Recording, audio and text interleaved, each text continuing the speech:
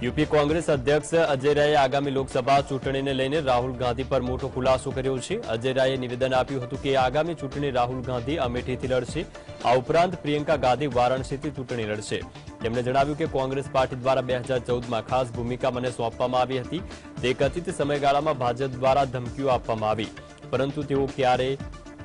તેમની સામે નમશે નહીં जहां से प्रियंका गांधी जी की इच्छा बनारस अगर होगी हमारा एक एक कार्यकर्ता उनके लिए जान लड़ देगा स्मृति ईरानी कह रही है कि राहुल गांधी अमेठी इस बार भी नहीं आएंगे भाग जाएंगे अब स्मृति ईरानी खुदे बौखला गई हैं तेरह रुपए किलो में चीनी दिलवा रही थी दिलवा पाई उनसे पूछिए तेरह रुपए किलो में हमारे लोग आए अमेठी के उनसे पूछिए कहा था कि तेरह रुपया में आपको चीनी मिलेगा યુએસ કોર્ટે છવ્વીસ અગિયારના મુંબઈ હુમલાના આરોપી તહબૂર રાણા દ્વારા દાખલ કરવામાં આવેલ હેબિયસ કોર્પસ રીટને નકારી કાઢી છે ભારત દ્વારા પ્રત્યાર્પણની વિનંતી પર પાકિસ્તાની મૂળના કેનેડિયન બિઝનેસમેન તહબૂર રાણાની યુએસમાં ધરપકડ કરવામાં આવી હતી હવે યુએસ સ્ટેટ ડિપાર્ટમેન્ટે કહ્યું છે કે તેમનો દેશ છવ્વીસ અગિયારના મુંબઈ હુમલામાં સંડોવાયેલા લોકોને ન્યાયના કઠેડામાં લાવવા માટે સતત આહવાન કરે છે છવ્વીસ અગિયાર હુમલાના આરોપીઓનો પ્રત્યાર્પણ પ્રક્રિયા વિશે માહિતી આપતા વેદાંત પટેલે તેને પડતર મામલો ગણાવ્યો અગાઉ લોકસભામાં નવ ઓગસ્ટે ગૃહપ્રધાન અમિત શાહે ખાતરી આપી હતી કે તહબૂર રાણા ટૂંક જ સમયમાં ભારતીય ન્યાયતંત્રનો સામનો કરશે રાણા પર તેના બાળપણના મિત્ર કેવિડ હેડલી સાથે મળીને મુંબઈમાં લશ્કર આતંકી આતંકવાદી હુમલા આયોજન અને તેને અંજામ આપવાનો આરોપ છે છવ્વીસ નવેમ્બર બે હજાર આઠના રોજ એલઈટીના દસ આતંકવાદીઓ છે તે પાકિસ્તાનથી દરિયાઈ માર્ગે મુંબઈમાં પ્રવેશ્યા હતા તેઓએ શ્રેણીબદ્ધ સંકલિત ગોળીબાર અને બોમ્બ ધડાકા કર્યા જેમાં એકસો લોકોના જીવ ગયા હતા Now, since Dahau Rana, uh, habeas corpus has been already rejected by the American court, and now the U.S. administration, of course, it would all depend upon now the U.S. administration when it's to be uh, sent back to India for trial. Uh, wh- the moot question is where he will be tried, whether in NI court in, at Delhi or elsewhere. That questions will be precisely decided uh, by the investigating agency. Bilkis બાનુ કેસમાં supreme કોર્ટે કેન્દ્ર અને ગુજરાત સરકારની ઝાટકણી કાઢી છે supreme કોર્ટે કેન્દ્ર અને ગુજરાત સરકારને પૂછ્યું છે કે સરકારે બિલકિસ બાનોના દોષિતોને કેમ છોડ્યા આ રાહત જેલમાં બાકીના કેદીઓને કેમ આપવામાં આવી નથી જસ્ટિસ બીબી નાગરંથના અને જસ્ટિસ ઉજ્જવલ ભુયાનની ખંડપીઠે પ્રશ્ન પૂછ્યો કે સુધારા માટે આટલી રાહત બાકીના કેદીઓને શા માટે ન આપી શકાય કોર્ટે દોષિતોને મુક્ત કરવા સામે બિલ્કિસ દ્વારા દાખલ કરવામાં આવેલી અરજી પર સુનાવણી કરી હતી ગુજરાત સરકારે બિલ્કિસના અગિયાર દોષિતોને મુક્ત કરવાનો નિર્ણય કર્યો હતો જેને રદ કરવાની માંગ કરાઈ હતી માર્ચમાં જસ્ટિસ કે એમ જેસેફ અને બીવી નાગરંતની બેન્ચે ગુજરાત સરકારને બિલ્કિસ બાનો કેસમાં તમામ દોષિતોને મુક્ત આપતી ફાઇલો સાથે તૈયાર રહેવાનો નિર્દેશ આપ્યો હતો.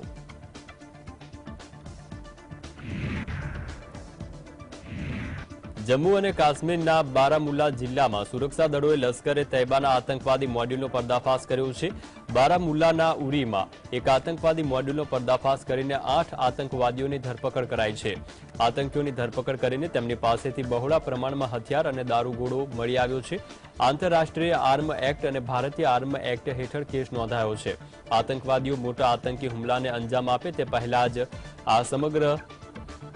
કૌભાંડ હતું તેનો પર્દાફાશ કર્યો છે અને સુરક્ષા દળોને આમાં મોટી એક સફળતા મળી છે में दो टेरर मॉड्यूल्स का खुलासा किया हुआ है। इन टेरर मॉड्यूल्स में आज तक तकरीबन आठ टेरर एसोसिएट्स अरेस्ट हुए हैं, जिनसे आठ चाइनीज़ ग्रेनेड्स तीन पिस्टल्स पिस्टल मैगजीन्स राउंड्स गाड़ियाँ पिस्टल राउंड्स बरामद हुए हैं। ये जो टेरर मॉड्यूल है, ये पाकिस्तान बेस्ड हैंडलर्स के डायरेक्शंस पे वादी में नारकोटिक्स और आर्म्स एम्यूनिशन की स्मगलिंग में मुलवस थे બિહારમાં જાતિ સર્વેક્ષણ કેસ પર શુક્રવારે સુપ્રીમ કોર્ટમાં સુનાવણી હાથ ધરવામાં આવી હતી કોર્ટે સોમવારે નક્કી કરી શકે છે કે ડેટાના પ્રકાશન પર વચગાળાનો પ્રતિબંધ હોવો જોઈએ કે નહીં સુનાવણી દરમિયાન ન્યાયાધીશે અરજીકર્તાના વકીલે પૂછ્યું હતું કે કયા મુખ્ય મુદ્દા પર દલીલ કરવા માંગે છે એક વકીલે કહ્યું કે સૌથી પહેલા તો સર્વેના ડેટા જાહેર કરવા પર વચગાળાનો સ્ટે હોવો જોઈએ ન્યાયાધીશે આના પર કહ્યું કે અમે સુનાવણીના મુદ્દા પર નિર્ણય કરીને મામલાને જલ્દી ઉકેલવા માંગીએ છીએ સૌપ્રથમ આપણે બતાવવું પડશે કે આ કેસ પ્રથમ દ્રષ્ટિએ બનાવવામાં આવ્યો છે ન્યાયાધીશે કહ્યું છે કે જો કેસ થતો જોવા મળશે તો અમે વિગતવાર સુનાવણી પહેલા સ્ટે જેવો આદેશ આપીશું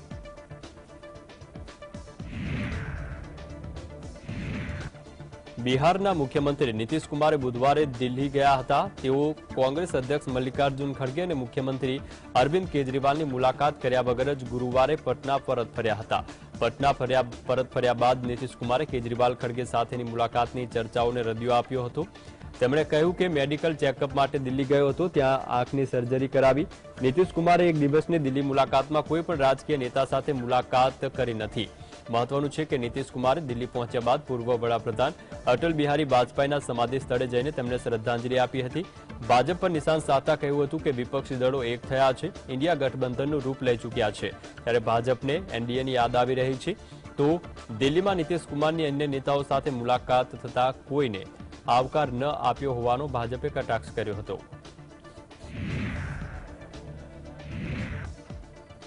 ઘાસચારા કૌભાંડ મામલે લાલુ પ્રસાદ યાદવની મુશ્કેલી ફરી એકવાર વધી શકે છે લાલુ પ્રસાદ યાદવની જામીન અરજી કરવાની અરજી પર સુનાવણી પચીસ ઓગસ્ટે થશે સીબીઆઈએ લાલુ યાદવની જામીન અરજી રદ કરવા માટે સુપ્રીમ કોર્ટને અરજી કરી હતી કોર્ટ પાસે વહેલી સુનાવણીની માંગ કરવામાં આવી છે સુપ્રીમ કોર્ટે સુનાવણી માટે સંમતિ આપી છે હવે આ મામલે પચીસ ઓગસ્ટે સુનાવણી થશે અગાઉ સત્યાવીસ માર્ચે સુપ્રીમ કોર્ટે સીબીઆઈની અન્ય એક અરજી પર નોટિસ જાહેર કરી હતી લાલુ પ્રસાદ યાદવને ડોરન્ડા ટ્રેઝરી સંબંધિત ચારા કૌભાંડમાં પાંચ વર્ષની સજા સાહીઠ લાખ રૂપિયાનો દંડ પણ ફટકારવામાં આવ્યો તમને જણાવી દઈએ કે ચાર એપ્રિલ બે હજાર બાવીસના રોજ સુપ્રીમ કોર્ટે લાલુ યાદવને બે મામલામાં આપવામાં આવેલી જામીન વિરુદ્ધ સુનાવણી કરવા માટે સહમત થઈ હતી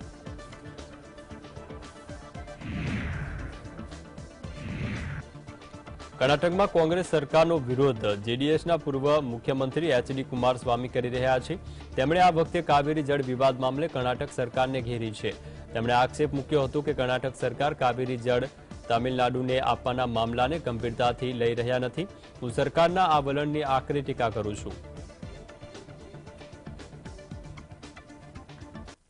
state government decision. Why so? No, the way in which this government taken it very lightly in this issue. That's why I'm actually criticizing the government attitude. When this Tamil Nadu government, when they went before the Supreme Court, filing the papers in front of Supreme Court to give direction to the Karnataka to release the water. Why our government, for that, our legal uh, team, what they are doing? કર્ણાટકમાં કોંગ્રેસ સરકારે રાષ્ટ્રીય શિક્ષણ નીતિ એનએપીને ખતમ કરવા સામે ભાજપ સામે વિરોધ વ્યક્ત કર્યો તેના જવાબમાં ઉપમુખ્યમંત્રી ડીકે શિવકુમારે કહ્યું છે કે એનએપી ભાજપનો રાજકીય એજન્ડા હતો તેને ભાજપ શાસિત રાજ્યમાં લાગુ જ નથી કરાય શિવકુમારે ભારપૂર્વક કહ્યું હતું કે આ રાજ્યનો વિષય છે રાષ્ટ્રીય વિષય નથી શ્રી કુમારે કહ્યું કે એનએપી લાગુ કરવાનો નિર્ણય ભાજપનો હતો અમે શરૂઆતથી જ કહી રહ્યા હતા કે અમે તેના પર પુનર્વિચાર કરીશું પાયાનું માળખું તૈયાર કર્યા વિના જ તેને ઉતાવળે લાગુ કરી દેવામાં આવી હતી શિવકુમારે સવાલ પૂછ્યો કે રાષ્ટ્રીય શિક્ષણ નીતિ એટલી જ મહત્વપૂર્ણ છે તો પછી મધ્યપ્રદેશ ઉત્તર પ્રદેશ હરિયાણા અને ગુજરાતમાં તેને કેમ લાગુ કરાઈ નથી અહીં તો ભાજપ જ સત્તામાં છે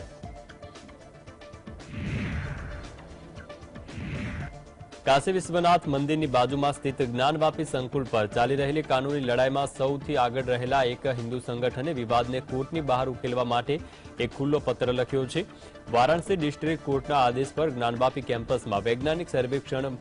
વચ્ચે લખાયેલા આ ખુલ્લા પત્રમાં હિન્દુ પક્ષના વકીલ અને વિશ્વ વૈદિક સનાતન સંઘના વડા જીતેન્દ્રસિંહ બિસેને હિન્દુ અને મુસ્લિમ પક્ષોએ પરસ્પર વિરોધ કર્યો છે જ્ઞાનવાપી કેમ્પસ વિવાદ અંગે કોર્ટની બહાર સંમત થયા મામલો ઉકેલવા માટે વાતચીત માટે આમંત્રણ આપવામાં આવ્યું હતું બિસેને કહ્યું છે કે આ પત્ર હિન્દુ પક્ષ દ્વારા આ કેસની મુખ્ય વકીલ રાકેશ સિંહની સંમતિ બાદ જારી કરવામાં આવ્યો છે તેમણે કહ્યું છે કે જો આ મામલો પરસ્પર સંમતિથી ઉકેલવામાં આવે તો આનાથી વધુ સારું કંઈ નહીં થાય કેટલાક અસામાજિક તત્વો પોતાના અંગત ફાયદા માટે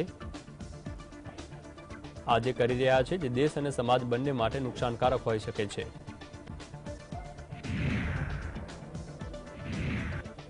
કેન્દ્રીય માર્ગ પરિવહન અને ધોરીમાર્ગ મંત્રી નીતિન ગડકરી દ્વારા એક્સપ્રેસ વેના નિર્માણ ખર્ચ અંગે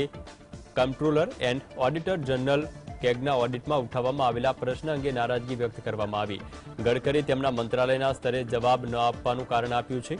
મંત્રાલયના સૂત્રોએ શુક્રવારે જણાવ્યું હતું કે ગડકરીએ આ મામલે કેટલાક જવાબદાર અધિકારીઓના અસંતુલિત વલણ અને અસંતોષ વ્યક્ત કર્યો છે તેમણે કેગ દ્વારા ઉભી કરવામાં આવેલી આ શંકાઓને સમયસર દૂર કરવામાં નિષ્ફળતા માટે જવાબદારી નક્કી કરવાનો પણ નિર્દેશ આપ્યો છે હાલમાં જ બહાર પાડવામાં આવેલા તેના ઓડિટ રિપોર્ટમાં કેગેએ જણાવ્યું હતું કે દ્વારકા એક્સપ્રેસ વેનો પ્રતિ કિલોમીટર બાંધકામ ખર્ચ અઢાર પોઈન્ટ બે કરોડ રૂપિયાના પ્રારંભિક અંદાજથી વધીને રૂપિયા બસો એકાવન કરોડ પ્રતિ કિલોમીટર થઈ ગયો છે જેને લઈને વિરોધ પક્ષોએ સરકાર સામે આક્રમક વલણ અપનાવ્યું છે વિવાદ વધ્યા પછી માર્ગ પરિવહન મંત્રાલયે તેના સ્તરે પરિસ્થિતિને સાફ કરવાનો પ્રયાસ કર્યો પરંતુ ગડકરીએ ઓડિટ સમયે કેગની આશંકાઓને દૂર કરવા માટે સંબંધિત અધિકારીઓનું વલણ છે તેનાથી ખુશ નથી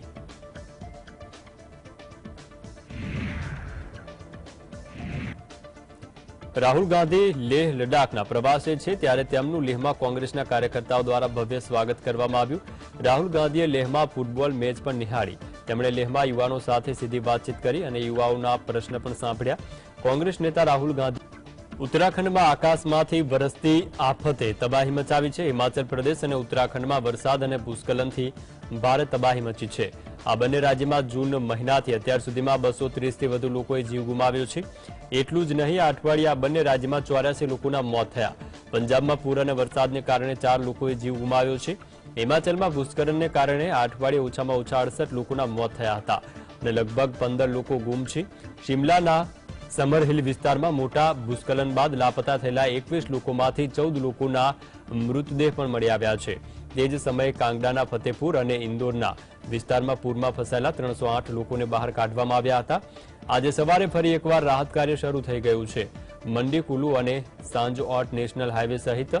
આઠસો ને પંચોતેર રસ્તાઓ બંધ છે અને બારસો બસ રૂટ ખોરવાઈ છે સાથે જ પૂર અને ભૂસ્ખલનના કારણે સરકારને પણ મોટું નુકસાન પહોંચ્યું છે करीब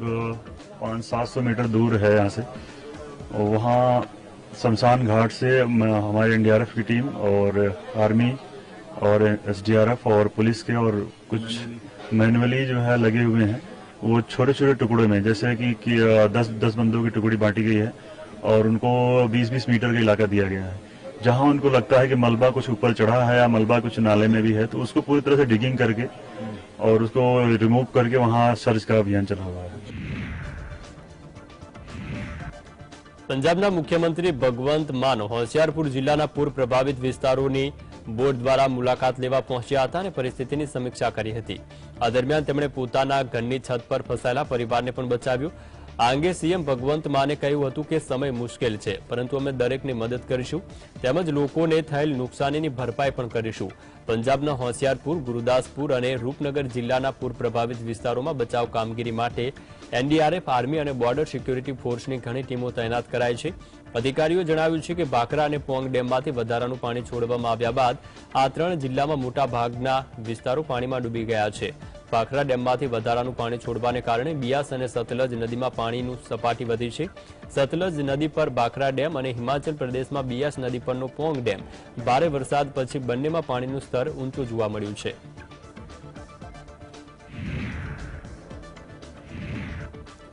સીપીઆઈએમ નેતા સીતારામ યેચુરીના નેતૃત્વમાં ચાર સભ્યોના પ્રતિનિધિ મંડળે અઢારથી વીસ ઓગસ્ટ દરમિયાન મણિપુરની મુલાકાતે છે આ દરમિયાન તેમણે નિવેદન આપ્યું છે કે અમે મણિપુરના લોકો સાથે એકતા વ્યક્ત કરવા જઈ રહ્યા છીએ કે ભારત તેમની સાથે છે મણિપુરના મુખ્યમંત્રીને બરતરફ કરવા જોઈએ અમે શાંતિ પુનઃસ્થાપિત કરવા માટે જે પણ જરૂરી હશે તે કરીશું રાજ્યની સ્થિતિ ખતરનાક છે અને દેશની એકતા માટે તેને નિયંત્રિત કરવી જરૂરી છે आरोप है, बहुत सारा हमने देखा भी है सोशल मीडिया पे, और ये बहुत ही खतरनाक परिस्थिति पैदा हो रही है वहाँ पे। इसको काबू में ले आना अनिवार्य है और ज़रूरी है, देश की एकता के लिए। और क्योंकि ये वातावरण फैल रही है अब बाकी जगहों पर, नॉर्थ ईस्ट में, ये हमारे देश के हित में नहीं है। થોડાક દિવસોની શાંતિ બાદ હિંસાગ્રસ્ત મણિપુરમાં ફરી એકવાર હિંસા ભડકી છે. સૂત્રોના જણાવ્યા અનુસાર, ઉખરુલ જિલ્લાના લીટન પોલીસ સ્ટેશનની હદમાં આવતા થવઈ કુકી ગામમાં શંકાસ્પદ મેતી શસ્ત્રધારી બદમાશો અને કુકી સ્વયંસેવકો વચ્ચે ભયંકર ગોળીબારની ઘટના બની. તેમાં કુકી સમુદાયના ત્રણ લોકોના મૃત્યુ થયા છે. આ ઘટના બાદ બીએસએફ સહિત સુરક્ષા દળોએ સમગ્ર વિસ્તારને ઘેરી લઈ તલાશી અભિયાન શરૂ કર્યું છે. હાલમાં પણ સ્થિતિ તંગદિલી ભરી હોવાનું સામે આવ્યું છે. ઉલ્લેખનીય છે કે આ ગામ મૈતી સમુદાયથી વસ્તી ધરાવતા વિસ્તારથી ઘણું દૂર છે. મણિપુરમાં બહુસંખ્યક મૈતી સમુદાયના લોકો એસસી, એસટીનો દરજ્જો અને અનામત આપવાની માંગ કરી રહ્યા છે. મૈતી સમુદાયની વસ્તી પણ મણિપુરમાં ત્રેપન છે. અત્યાર સુધીની હિંસામાં સોથી વધુ લોકોના મૃત્યુ થયા છે.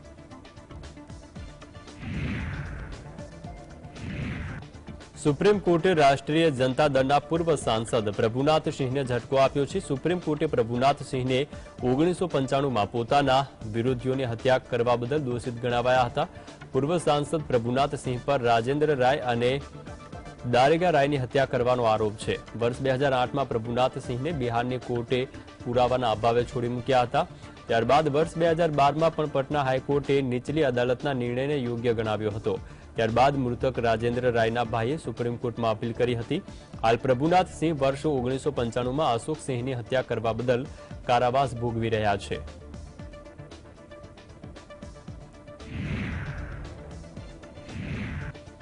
દૈનિક અખબારના છત્રીસ વર્ષીય પત્રકાર વિમલ યાદવની બિહારમાં રાનીગંજમાં ધોળા દિવસે હત્યા કરી દેવામાં આવી આરોપીઓએ ખંડા દરવાજા પર ચડીને મુખ્ય દરવાજો ખોલતા પત્રકાર વિનેશ વિમલ યાદવ સામે આવતા જ ગોળીબાર કર્યો હતો વિમલ યાદવ પર ગોળીબાર કરી આરોપીઓ ફરાર થયા હતા હત્યા બાદ વિસ્તારમાં ચકચાર મચી ગઈ છે અને આસપાસના લોકોના ટોળે ટોળા પણ એકઠા થઈ ગયા હતા હત્યાની માહિતી મળતા જ પોલીસ પણ ઘટના સ્થળે પહોંચી મૃતદેહ પર કબજો મેળવી પોસ્ટમોર્ટમ માટે મોકલી તપાસ શરૂ કરી હતી વિમલ યાદવના સંબંધીઓનું કહેવું છે કે સુપોલ જેલમાં બંધ રૂપેશ હત્યાનું કાવતરું ઘડ્યું હતું રૂપેશે જેલમાંથી હત્યાનો આદેશ આપ્યો હતો અગાઉ એપ્રિલ બે હજાર ઓગણીસમાં પણ વિમલ યાદવના નાના ભાઈ ગબ્બુ યાદવની હત્યા થઈ હતી વિમલ યાદવ તેના ભાઈના હત્યા કેસનો મુખ્ય સાક્ષી હતો કેસની ઝડપી સુનાવણી ચાલુ છે ત્યારે કોર્ટમાં સુનાવણી થાય તે પહેલા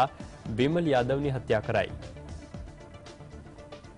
नसीहत की जरूरत जनता दल यूनाइटेड और राष्ट्रीय जनता दल और साथ में जो शामिल चार अन्य संगठन है महागठबंधन की सरकार ऐसे मामलों पर त्वरित कार्रवाई करती है अपराधियों की गिरफ्तारी होगी जल्द जेल की सलाखों के पीछे होंगे पहले उन्हें अपने शासन के राज्यों में जो कानून व्यवस्था की दुर्दशा है उस पर नित्यानंद जी को संज्ञान लेना चाहिए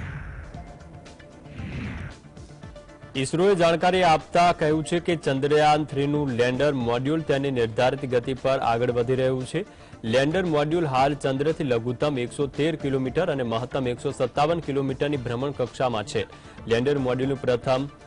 ડીપ બુસ્ટિંગ સફળ રહ્યું છે બીજું ડીપ બુસ્ટિંગ વીસમી ઓગસ્ટે નિર્ધારિત કરેલ છે ઇસરોએ તેના પ્રોપલ્સર મોડ્યુલમાંથી લેન્ડર મોડ્યુલને છૂટા પાડવાની ઘટનાની તસવીરો પણ જાહેર કરી હતી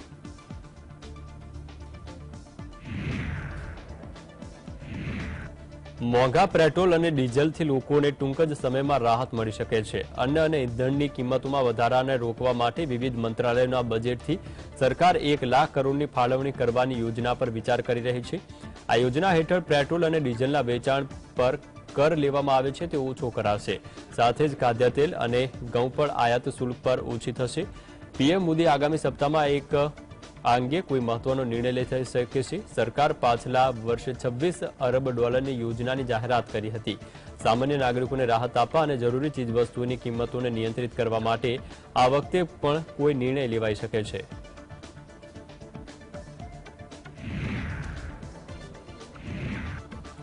હાલ તહેવારોની સિઝન ચાલી રહી છે. ત્યારે સસ્તું સોનું ખરીદવાની તક છે. સોનાની કિંમતમાં ઘટાડો નોંધાયો છે. જ્યારે ચાંદીની કિંમત વધી છે. ફોરવર્ડ ટ્રેન્ડિંગમાં સોનાની પ્રતિ દસ ગ્રામ કિંમત એકસો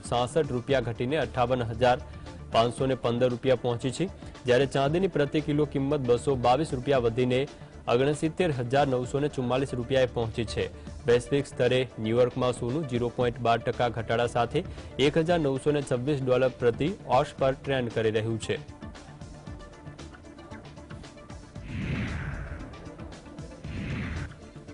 અંડર વીસ વર્લ્ડ ચેમ્પિયનશિપમાં બુધવારે કુસ્તીબાજુમાં મોહિત કુમારને ગોલ્ડ મેડલ મળ્યો છે. બે હજાર ઓગણીસમાં દીપક પુનિયા બાદ પ્રથમ ભારતીય કુસ્તી બાદ ગોલ્ડ મેડલ જીત્યો છે. મોહિત કુમારે જોર્ડનના અમ્માનમાં પુરુષોની એકસઠ કિલોગ્રામની ફાઇનલમાં રશિયાના એલ્ડર અકમાદુની નોવને નવ આઠથી હરાવ્યું હતું સ્પર્ધામાં તટસ્થ એથ્લેટ તરીકે ભાગ લેનાર અખમાદુનીનો ભૂલો કરવાનું શરૂ કરે તે પહેલા જ ભારતીય ફાઇનલમાં જીરો છ થી પાછળ હતો મોહિત કુમારે ભૂલોનો ફાયદો ઉઠાવી સતત નવ પોઈન્ટ મેળવ્યા યુ ટ્વેન્ટી વર્લ્ડ રેસલિંગ ચેમ્પિયનશિપમાં વિજેતા મોહિત કુમારનું આઈજીઆઈ એરપોર્ટ પર ભવ્ય સ્વાગત કરાયું वर्ल्ड चैंपियनशिप में और में हमारे कोच साहब का और बहुत ज्यादा योगदान था इस चीज में आगे ओलंपिक ओलंपिक एशियन गेम्स इनमें मेडल जीतना है यही टारगेट है કેન્દ્રીય ગૃહ અને સહકાર મંત્રી અમિત શાહે શુક્રવારે ક્રિપ્કો હેડક્વાર્ટરની મુલાકાત લીધી હતી સાથે સાથે ભારતની બીજી અને સૌથી મોટી ખાતર સહકારી સંસ્થાના બોર્ડ સભ્યો સાથે પણ વાતચીત કરી અમિત શાહની મુલાકાતને પગલે દેશભરમાંથી તમામ બોર્ડના સભ્યો દિલ્હી પહોંચ્યા હતા જ્યારે સંવાદદાતાએ તેમને બેઠકનો એજન્ડા જાણવા માટે બોલાવ્યા ત્યારે સભ્યોએ ઉત્સાહ બતાવ્યો તો ક્રિપ્કોની બોર્ડ મીટિંગ પણ યોજાઈ જેમાં સહકાર મંત્રી બન્યા બાદ અમિત શાહ પ્રથમ વખત ક્રિપ્કો હેડક્વાર્ટરની મુલાકાતે પહોંચ્યા હતા ક્રિપ્કોના અધિકારીએ અમિત શાહનું ભવ્ય સ્વાગત કર્યું હતું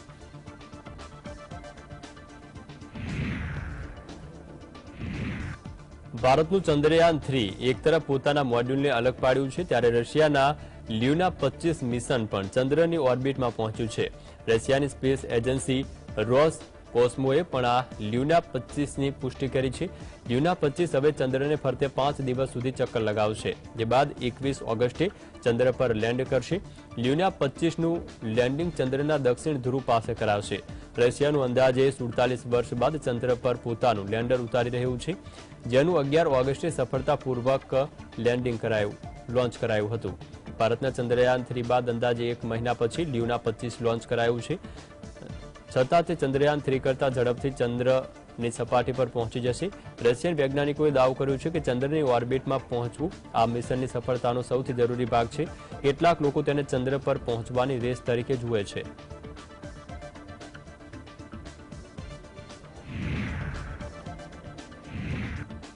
નવી દિલ્હીમાં આગામી સપ્ટેમ્બર મહિનામાં નવથી દસ જી ટ્વેન્ટીની સમિટ યોજાશે જેમાં સમિટમાં ભારત યુક્રેનને આમંત્રણ આપ્યું નથી પરંતુ વિડીયો કોન્ફરન્સના માધ્યમથી સમિટમાં હાજરી આપવાની છૂટ આપી છે ચાલુ વર્ષના મે મહિનામાં હિરોસોમામાં જી સેવન સમિટમાં ભારતને વિશેષ આમંત્રણ હતું તેમાં વડાપ્રધાન નરેન્દ્ર મોદી હાજર રહ્યા હતા જેલેન્સ્કી હિરોસીમામાં જતા માર્ગમાં આરબ લીગ સમિટ કોન્ફરન્સમાં આમંત્રણ વગર પહોંચ્યા હતા જેલેન્સ્કે હિરોસીમામાં નરેન્દ્ર મોદી સાથે મુલાકાત કરી હતી જો કે આ જી ટ્વેન્ટી શિખર પરિષદમાં તમામ આમંત્રિત નેતાઓના નામ અને ફોટોગ્રાફ્સ જી ટ્વેન્ટીની વેબસાઇટ પર મૂકવામાં આવ્યા છે જેમાં રશિયાના પ્રમુખ વ્લાદિમીર પુતિનનો પણ ફોટોગ્રાફ છે ત્યારે પશ્ચિમના દેશોએ પુતિનનું નામ અને ફોટોગ્રાફ દૂર કરવા ભારત પર અત્યંત દબાણ કર્યું છે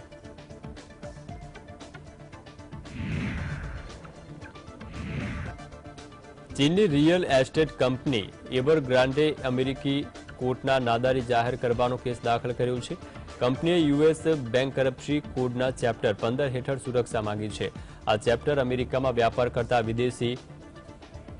ક્રેડિટર્સ માટે છે જેમાં તેમની સંપત્તિ જપ્ત કરવાની જોગવાઈ છે ચીનની રિયલ એસ્ટેટ ફર્મની નાદારીની ઘોષણા એવા સમયે આવી છે જ્યારે ચીનનું અર્થતંત્ર મુશ્કેલીમાંથી પસાર થઈ રહ્યું છે મીડિયા અહેવાલો અનુસાર આ ચીની દિગ્ગજ કંપની પર લગભગ ત્રણસો બિલિયન ડોલરનું દેવું છે આ કંપની વર્ષ બે હજાર એકવીસમાં પણ તેની લોન ચૂકવવામાં ચૂકી ગઈ હતી તે સમયે પણ કંપનીએ તેની નાણાકીય સ્થિતિ જાહેર કરી ન હતી તેનાથી એક વર્ષ પછી એટલે કે વર્ષ બે હજાર બાવીસમાં કંપનીના શેર્સમાં બિઝનેસમાંથી જે સસ્પેન્ડ કરી દેવાયા હતા. ત્યારબાદ કંપનીએ ગયા મહિને માહિતી આપી હતી કે તે છેલ્લા બે વર્ષમાં લગભગ એસી બિલિયન ડોલરનું નુકસાન થયું છે. ચીનની ઘણી કંપનીઓ ખોટમાં ચાલી રહી છે. જોકે હવે કેટલીક કંપનીઓ આગળ આવી રહી છે અને તેમની ખોટ જાહેર કરી રહી છે.